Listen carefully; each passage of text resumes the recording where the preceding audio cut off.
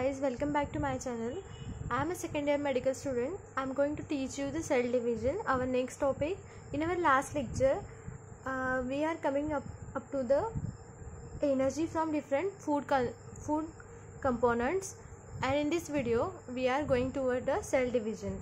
Okay in cell division cell division uh, are of the two type different type that is a one is meiosis the second one is a mitosis in meiosis meiosis is generally occurs into the germ cell and in the mitosis generally occurs into the somatic cell and stem cell okay uh, ये mug up कर लेना है आपको then develop the during the cell double of the chromosomal number is occurs म्हणजे जर chromosome number हे जर सेलमध्ये आधी टू एन असतील तर after the cell division it will become a four N okay or during the cell division it become a four N okay आपल्या cell आपल्या सेलमध्ये व्हेरियस टाईप्स ऑफ कंपोनंट्स असतात जसं की न्यूक्लियस आहे न्यूक्लियसमध्ये क्रोमोसोम आहेत मायटोकॉन्ट्रिया वगैरे. All this components and the come chromosome are the main component which is important for the cell division of the chromosome Chromosomes are generally seen on only seen at the time of cell division. Chromosomes are that's a uh, shape a rod shape and has a primary constriction that is a centromer that is called as a centromer. Primary constriction is this or the centromer. The arm uh, it has two arms that is p arm one is p arm and second one is a q arm.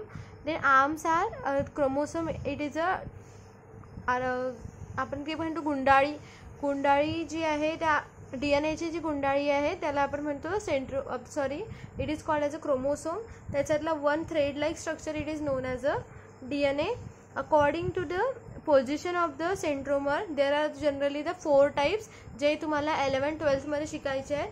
त्याचे मी सध्या name सांगू देते. That is first is a metacentric then sub metacentric then acrocentric and telocentric okay he diagram तुम्ही काढून घ्यायची आहे. ही तुम्हाला एक्झाममध्ये काढायला येऊ शकते.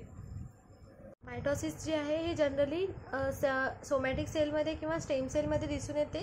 हे दोन विविध प्रकारच्या स्टेपमध्ये दिस दिसते. ते म्हणजे first is a karyokinesis and second one is a cytokinesis in karyokinesis is contain generally the four step that is a prophase metaphase anaphase and telophase ह्या प्रत्येक फेजचे काही uh, डिस्क्रिप्टिव्ह एक uh, विविध प्रकारचे त्याचे फंक्शन्स आहेत किंवा त्या वेगवेगळ्या त्याच्या प्रोसेसेस आहेत ते आपण आता बघणार आहोत. First step is a prophase प्रोफेजमध्ये काय होतं? Condensation thin thread like chromosome बनतात. क्रोमोसोम जे आहेत ते थीन थ्रेड लाईक बनतात.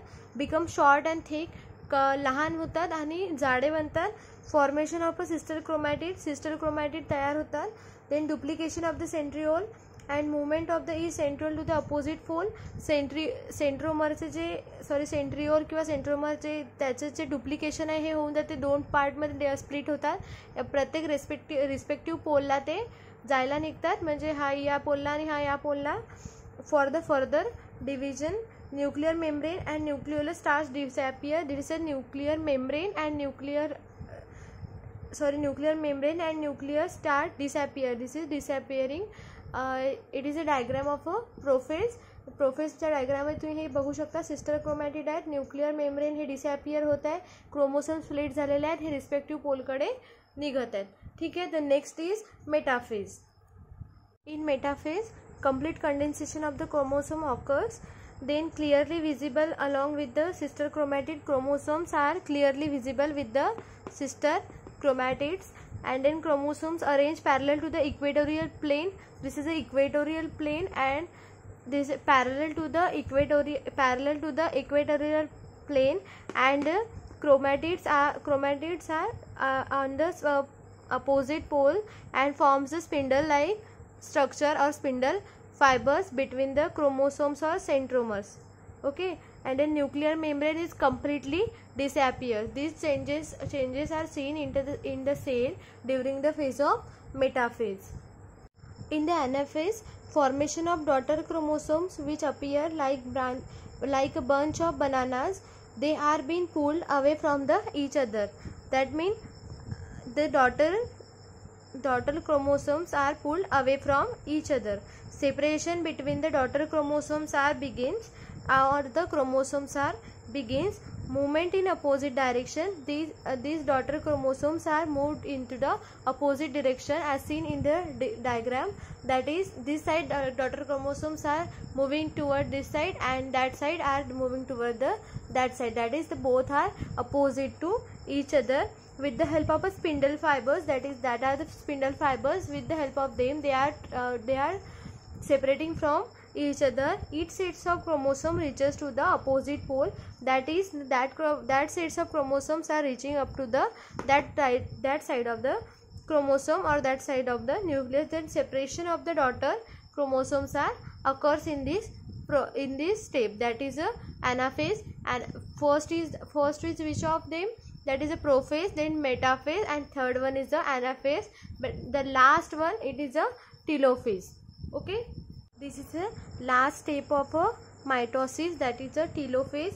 In the telophase chromosomes reach to the opposite pole of the cell and there कडी decondensation begins. म्हणजे क्रोमोसोम जे आहेत ते अपोजिट पोलला चालले जातात आणि त्याचं डिकन्झन्सेशन म्हणजे जे आधी कंडेन्स झाले होते त्याचं पुन्हा व्यवस्थित म्हणजे डिकन्झन्सेशन होणं हे पुन्हा स्टार्ट होऊन जाते. Chromosome became becomes a thread like structure as in the normal normal सेलमध्ये कसं होतं क्रोमोसोम हे थ्रेड लाईक स्ट्रक्चर होते थीन होते अँड अँड स्पिंडल फायबर्स इथे नव्हते. आणि पुन्हा अजून न्यूक्लिअर मेम्ब्रेन जे होतं ते एक प्रॉमिनंट होतं. ते पुन्हा ॲज इट इज जसे आधीचे चेंजेस होते ते पुन्हा त्याच्यामध्ये यायला लागतात. Hence there is a two daughter nuclei म्हणजे आता इथे डिव्हिजन झालं दॅट इज अ मायटोसिस झालं म्हणजे इथे काय झालं टू डॉटर न्यूक्लिया हा ह्या तयार झाल्या. म्हणजे टू एनपासून आपण बनवले आहे four N that is reappearance of the nuclear membrane ही पुन्हा अपिअरन्स होतं न्यूक्लिअर मेम्ब्रेन हे पुन्हा अपिअरन्स होते.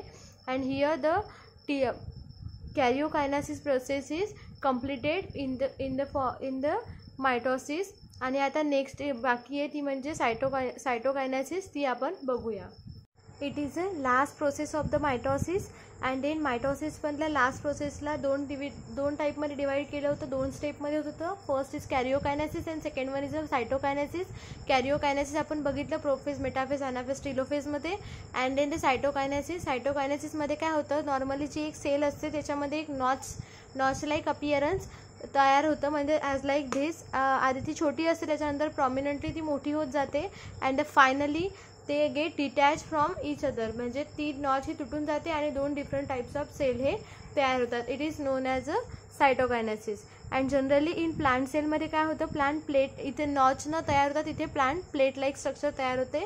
It is all about the mitosis okay guys thank you for watching this video आणि आपण नेक्स्ट टॉपिक नेक्स्ट लेक्चरमध्ये बघूया what is a meiosis okay thank you and if possible please like share and subscribe to my channel